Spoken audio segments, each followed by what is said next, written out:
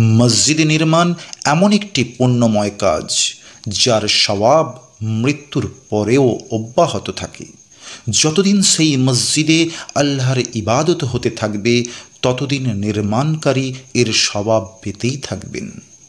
দুনিয়ার সবথেকে পবিত্রতম স্থান হল মসজিদ, যেখানে বান্দা মহান আল্লাহর কুদরতি পায়ে সিজদায় অবনত হয়। আল্লাহর পবিত্রতা ঘোষণা করে। মসজিদে প্রবেশ করার সাথে সাথে মুমিন মুসলমানদের মন আল্লাহর ভালোবাসায় সৌরভে প্রশান্ত হয়ে যায়। মসজিদে নামাজরত অবস্থায় মুমিন মুসলমানরা আল্লাহর সঙ্গে কথোপকথনে লিপ্ত হয়। ব্রাদার ইসলাম, আমরা আল্লাহর গোলাম, আল্লাহর দাস, তাই আল্লাহর ইবাদতের ঘর মসজিদ নির্মাণে আত্মনিয়োগ করব ইনশাল্লাহ হজরত আবু হুরায়রা রাদি আল্লাহ তালা আনু হতে বর্ণিত রসুল সাল্লাহ আলাইহসাল্লাম বলেছেন, আল্লাহর কাছে সবচেয়ে প্রিয় জায়গা হলো মসজিদ আর সবচেয়ে নিকৃষ্ট জায়গা হলো বাজার। হাদিস শহী মুসলিম চোদ্দশো চোদ্দ। আপনারা নিশ্চয়ই জানেন, মসজিদ হল মুসলিম সমাজের মূল কেন্দ্র। এ কারণেই প্রিয় রসুল সাল্লাহ আলাইহসাল্লাম হিজরতের প্রথম দিনেই মসজিদ নির্মাণের কাজে আত্মনিয়োগ করেছিলেন। তাছাড়া মসজিদ নির্মাণ ও রক্ষণাবেক্ষণকারীদের মহান আল্লাহ ভীষণ পছন্দ করেন। পবিত্র কোরআনের সুরা তওবা আঠেরো নম্বর আয়াতে আল্লাহ বলেন, তারাই তো আল্লাহর ঘরগুলোকে আবাদ করবে যারা ইমান আনে আল্লাহর উপর ও শেষ দিনের উপর, এবং সালাত কায়েম করে জাকাত দেয় ও আল্লাহ ছাড়া কাউকে ভয় করে না। ব্রাদার ইসলাম, হাদিস শরীফেও এসেছে, যে ব্যক্তি আল্লাহর সন্তুষ্টির জন্য মসজিদ নির্মাণ করবে, মহান আল্লাহ তার জন্য জান্নাতে অনুরূপ ঘর তৈরি করে দেবেন। বুখারি চারশো পঞ্চাশ। হজরত আয়েশা রাদি আল্লাহ তালা আনহা হতে বর্ণিত। তিনি বলেন, রসুল সাল্লাহ আলাইহসাল্লাম পাড়ায় পাড়ায় মসজিদ নির্মাণ করার এবং তা পরিষ্কারে পরিচ্ছন্ন ও সুগন্ধিময় রাখার নির্দেশ দিয়েছেন। সুনানি আবুদাউদ হাদিস চারশো পঞ্চান্ন। অতএব আসুন, মসজিদ নির্মাণে আত্মনিয়োগ করুন। দক্ষিণ সাঁকরাইল পশ্চিমপাড়া Howrah. Seven one one three one three Baitul Mamur জুম্মা মসজিদ। একদম নতুন এই প্রথম এই এলাকায় বাইতুল মামুর জুম্মা মসজিদ নির্মাণে সহযোগিতার হাত বাড়িয়ে দিন। অনুদান করুন। আপনার অনুদানই হবে আল্লাহর প্রিয় বান্দা হওয়ার প্রধান মাধ্যম।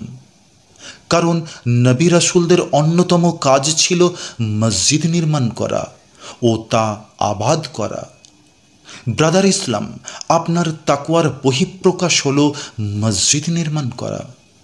মহান আল্লাহ এর স্বাদ করেছেন, অবশ্যই যে মসজিদ প্রথম দিন থেকে তাকুয়ার ভিত্তিতে প্রতিষ্ঠা লাভ করেছে, সেটাই তোমার নামাজের জন্য দাঁড়াবার যথাযোগ্য স্থান। সেখানে এমন সব লোক থাকবে যারা নিজেদেরকে উত্তম রূপে পবিত্র ও পরিশুদ্ধ হওয়াকে ভালোবাসে এবং আল্লাহ তাদেরকে ভালোবাসেন। মসজিদ নির্মাণ হল সৎকায়ে জারিয়া। হজরত আবু হুরায়রা রাদি আল্লাহ তালা আনহু হতে বর্ণিত। তিনি বলেন, রসুল সাল্লাহ আলাইহসাল্লাম বলেছেন, মুমিন ব্যক্তির মৃত্যুর পরেও সে তার নেক আমল ও নেক কাজের স্বভাব পেতেই থাকবে। যার মধ্যে ইলম ও জ্ঞান, যা সে নিজে শিখেছে ও প্রচার করেছে। নেক সন্তান, যাকে সে দুনিয়ায় রেখে গেছে। কোরআন বিতরণ, মসজিদ, যা সে নির্মাণ করে গেছে। মুসাফিরখানা, যা সে পথিক মুসাফিরদের জন্য নির্মাণ করে গেছে। কূপ বা কুয়া, যা সে খনন করে গেছে মানুষদের পানি পানের জন্য। দান খায়রাত যা সে সুস্থ ও জীবিত অবস্থায় তার ধনসম্পদ থেকে দান করে গেছে। মৃত্যুর পরেও এই সকল ভালো কাজের স্বভাব বান্দা পেতেই থাকবে। ব্রাদার ইসলাম, এই সকল ভালো কাজের মধ্যে জান্নাতে যাওয়ার অন্যতম মাধ্যম হল মসজিদ নির্মাণ করা। মসজিদ ছোট হোক বা বড় হোক, নিয়াতে ঠিক থাকলে আল্লাহ তার জন্য জান্নাতে ঘর নির্মাণ করবেন। যদিও সেটা পাখির বাসার মতো ছোট হোক না কেন। তাই আসুন মসজিদ নির্মাণে সহযোগিতা করুন। দক্ষিণ সাঁকরাইল, পশ্চিমপাড়া, হাওড়া। এই প্রথম আল্লাহর ঘর বাইতুল মামুর জম্মা মসজিদ নির্মাণের কাজ চলিতেছে। আপনারা অনুদান করুন, সাদকায় জারিয়া করুন, বেশি বেশি করে দান করুন, আল্লাহর নৈকট্য হাসিল করুন। যারা মসজিদ নির্মাণ করেন, তাদেরকে মহান আল্লাহ উত্তম প্রতিদান দেন, গুনাহা মাফ করে দেন এবং সাথে সাথে মসজিদ নির্মাণকারী ও সহযোগিতাকারীদের মান মর্যাদা বৃদ্ধি করে দেন।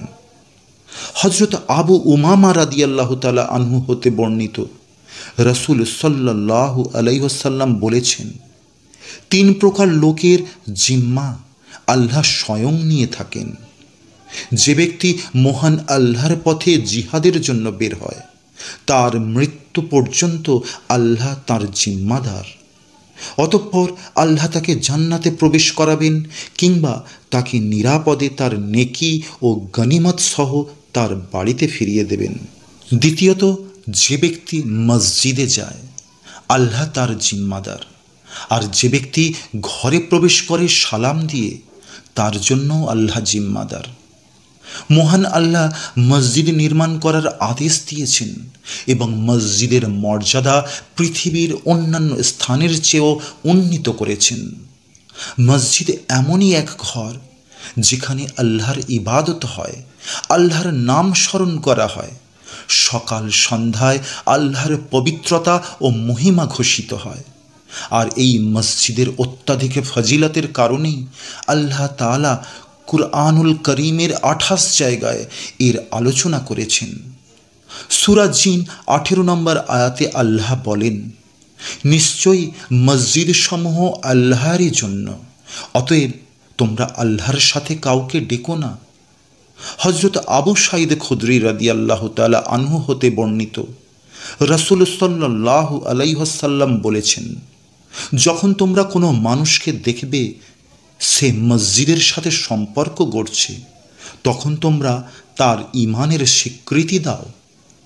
ইমাম কর্তুবী রহমতুল্লাহ বলেন, তারাই মুমিন যারা সালাত আদায়ের মাধ্যমে মসজিদকে প্রাণবন্ত রাখবে, মসজিদকে পরিষ্কার পরিচ্ছন্ন রাখবে, মসজিদের সংস্কার কাজ করবে এবং সর্বোপরি আল্লাহর প্রতি ইমান আনবে। ব্রাদার ইসলাম, আসুন মসজিদের নির্মাণে আত্মনিয়োগ করুন। দক্ষিণ সাকরাইল, পশ্চিমপাড়া, হাওড়া। বাইতুল মামুর জম্মা মসজিদ নির্মাণে সহযোগিতা করুন, অনুদান করুন, যোগাযোগ করুন।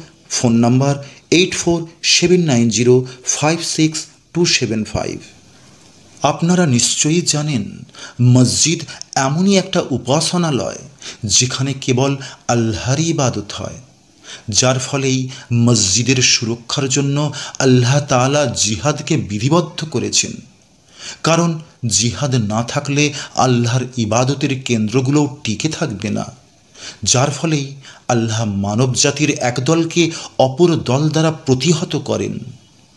সুরা হজ চল্লিশ নম্বর আয়াতে উল্লেখ, আল্লাহ নিশ্চয়ই তাদের সাহায্য করবেন যারা আল্লাহর সাহায্য করে। নিশ্চয়ই আল্লাহ মহাশক্তিধর ও পরাক্রমশালী। যদি কেউ একা মসজিদ নির্মাণ করেন, তাহলে তার জন্য উত্তম প্রতিদান রয়েছে। কিন্তু এটা তো সবার পক্ষে সম্ভব নয়। ফলে আলিমগণ বলেছেন, যারাই মসজিদ নির্মাণে অংশগ্রহণ করবে, প্রত্যেকেই প্রত্যেকের অংশগ্রহণের পরিমাণ অনুযায়ী প্রতিদান পাবেন। ইমাম ইবনু তাইমিয়া রহমতুল্লাহ বলেন মসজিদ হল মুসলিম উম্মার ইবাদতগাহ ও মিলন কেন্দ্র। কারণ নবী সাল্লাহ আলাইহসাল্লাম দ্বারা প্রতিষ্ঠিত মসজিদের কর্মসূচি ছিল সালাত আদায়, কিরায়াত পাঠ, জিকির, নেতৃত্ব ও সামাজিক রীতিনীতি, শিক্ষা, সমস্যা সমাধান প্রভৃতি। কারণ মসজিদই হল ইমানের ইস্পাত কঠিন দুর্গ। তাওহিদের বাণী প্রচারের কেন্দ্র।